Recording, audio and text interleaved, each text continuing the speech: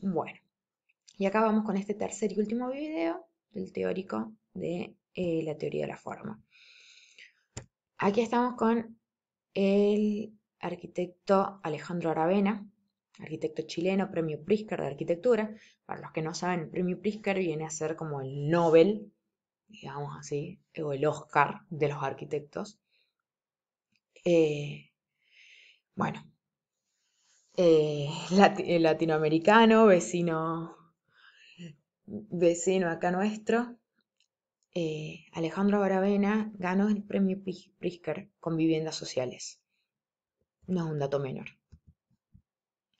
Entonces, eh, este proyecto, la Quinta Monroy, busca generar viviendas, eh, viviendas sociales, o sea, viviendas, lo que acá sería eh, del IPB, las viviendas del Estado, digamos así, basándose en las fórmulas de construcción de las, de las favelas y los, barrios y los barrios marginales. Pero no es decir, uy, me voy a, a la favela a ver cómo construyen y construyo exactamente igual, sino que entiendo cómo construyen ellos, sus lógicas de construcción para construir las viviendas. No es que no busca una vivienda de mala calidad, todo lo contrario, busca una vivienda de buena calidad, pero entendiendo los patrones sociales. ¿Qué quiere decir esto? A ver si se entiende mejor acá.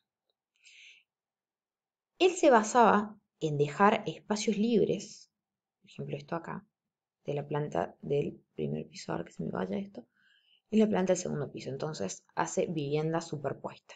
Pero permite ya dos paredes listas, cosa de que si yo quiero hacer una segunda habitación, cierro acá, cierro acá, sin dejar sin ventilación la cocina o el baño.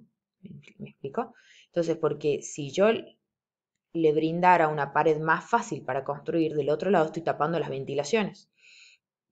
Entonces, le habilito a, la persona que va a vivir acá dos paredes construidas. Entonces apareo las viviendas para tener estas eh, paredes ya listas para ir completando la vivienda a medida que esta familia va creciendo. Este, este especie de concepto de vivienda ensamblada. Es eh, una especie de vivienda en bloque, digámoslo así muy característica ahí en Chile. Eh, la, verdad que eh, las, condiciones habitacionales que consiguió espectaculares. Pero, a ver, vamos atrás. Pero ante todo lo importante es que se dedicó a entender al usuario, a conversar con, los usuarios de estas casas para eh, construir en base a sus necesidades, no en base a, sus, a las ideas que él tenía de necesidades. En un momento tuve la oportunidad de, ir a una conferencia de él y contaba este proyecto y me acuerdo que contaba esto de que estaban en debate en la mesa, de los, en la mesa del estudio y decían, bueno, tenemos presupuesto para esto. Este presupuesto, en este presupuesto tenemos que decidir si vamos a ponerle bañera o termotanque. O, calefón, perdón. Era bañera o calefón. ¿Qué, hacemos? Porque el presupuesto nos da para una de las dos, no para las dos. A ver, ¿qué hacemos? En, en, la mesa saltan todos y dicen, ah, calefón. ¿Cómo? Obvio, calefón. Sin dudarlo, lejos. Y ahora bueno, dice, hagamos una encuesta. Vamos a la gente, la gente que va a ir a vivir a estas casas, vamos y hablemos con ellos a ver qué prefieren. Y sorprendentemente, la gente que iba, que iba a vivir estos barrios dijo bañera. Porque el gas es muy caro y lo más seguro es que el primer mes voy a tener para pagar la garrafa y tener agua caliente y el segundo mes no. Mientras que la bañera me sirve para retener agua cuando, cuando ésta se corte o, eh, o haya intermitencia en el suministro de, agua potable. Entonces esto me va a permitir guardar agua en esos momentos mientras que el calefón lo más seguro que lo termine vendiendo. Y bueno, y así fue eh, armando y tomando las decisiones. Es decir, siempre conversando con el usuario, es decir, haciendo un trabajo de participación social con las personas que iban a vivir en ella. Eh, digamos, sacándose los preconceptos de las necesidades que él proyectaba para estas casas. Vamos a seguir con esta temática que estábamos hablando. ¿Y qué quiero llegar con todo esto? De que si nosotros estudiamos bien el usuario, vamos a hacer un diseño que corresponda. Porque eh, si nos dejamos llevar por nuestros preconceptos, por ahí nuestro diseño tome otro camino. Básicamente esto, medio en meme, medio en chiste, con mucha realidad. Y con esto de lo que estábamos hablando, ya veníamos hablando de la eh, ecoforma, socioforma, o sea, la ecoforma como la forma del hábitat, la socioforma como la forma del habitar. ¿Y qué pasa? Bueno, Rubén Pesci en ese momento pasó muchos años con estos dos términos y se dio cuenta que estaba faltando un engranaje acá. Incluyó la tecnoforma, es decir, la composición arquitectónica a partir de los patrones tecnológicos. Todo lo que abarque la tecnología del mismo. Es decir, materiales, mano de obra, tecnologías disponibles, la forma estructural, la organización, el clima, todos estos factores que van a contribuir al desarrollo que yo pueda hacer de estas socioforma y ecoforma. Acá estamos viendo dos ejemplos. Ambos son edificios de oficina. Uno desde la tectónica, este de aquí, otro desde lo estereotómico. Entonces, dos caminos. Según las tecnologías que tengo disponibles, según el asoleamiento que yo tengo, según los factores sociales que yo tengo presentes, dos respuestas tecnológicas distintas. Entonces vemos cómo estos tres tipos de forma trabajan en conjunto y simultáneamente. Porque si yo solo tengo en cuenta la tecnoforma y no veo la ecoforma o la socioforma, muchas veces voy a tener soluciones que desentonen. Ejemplo, volvemos a lo mismo el antes y el después, medio en chiste, mucho en serio. Ahora, sí, todos dijeron, me imagino que saltaron todas las manos acá diciendo, eh, me está faltando la economía en todo esto. Sí, la econoforma me va a enmarcar toda la situación. Rubén Pesic pasa el tiempo y va descubriendo una forma nueva que integra este todo, va descubriendo las partes del todo. Entonces incorporó a sus, formas a sus proyectos de morfogénesis la econoforma. Lo mismo, composición arquitectónica a partir de los patrones del medio económico.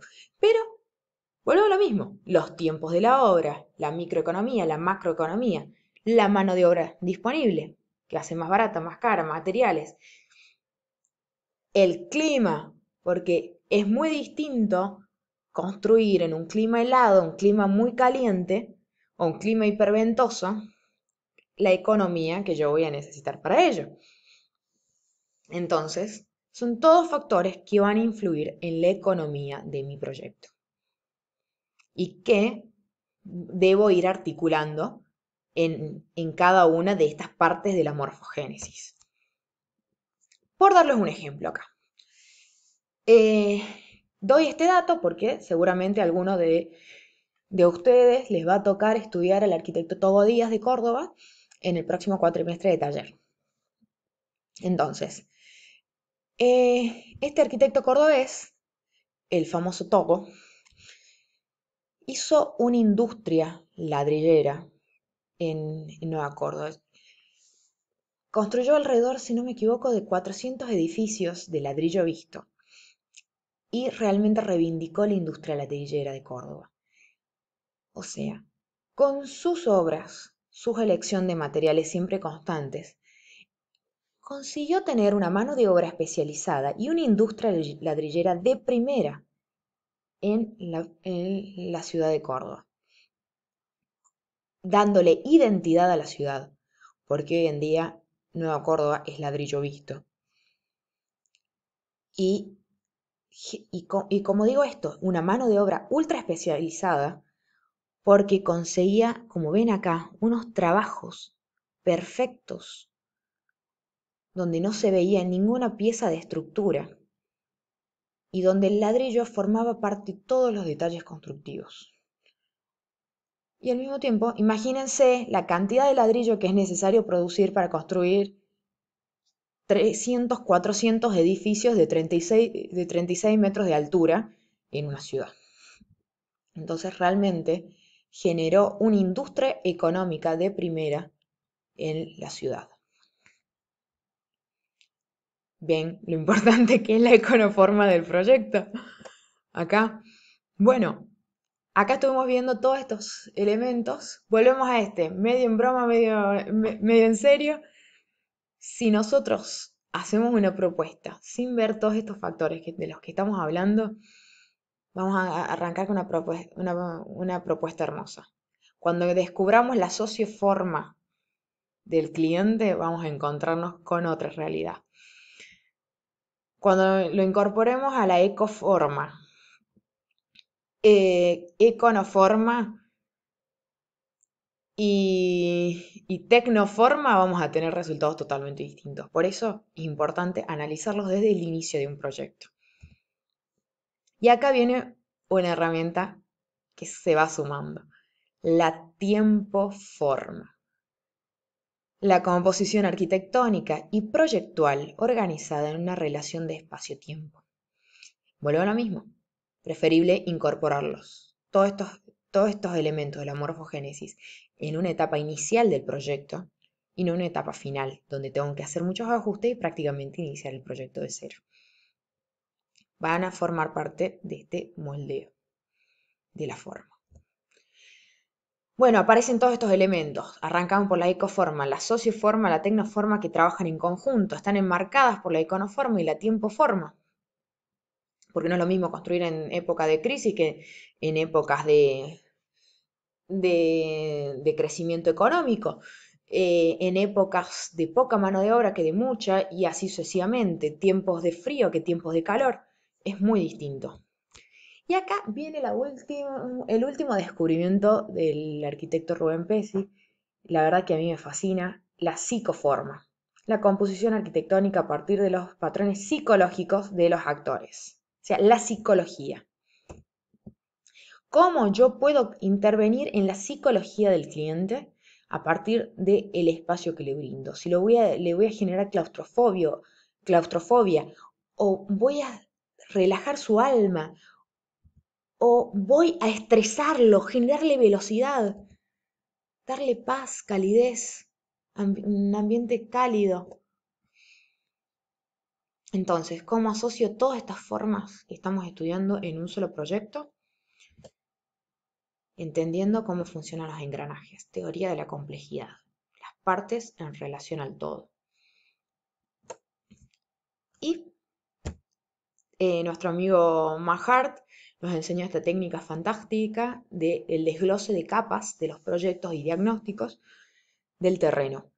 Entonces, como hemos visto en, en los otros teóricos, este desglose de capas del entendimiento de cada una de las formas nos va a permitir unos grandes proyectos. Eso es todo por hoy, chicos. Muchísimas gracias. Que anden muy bien.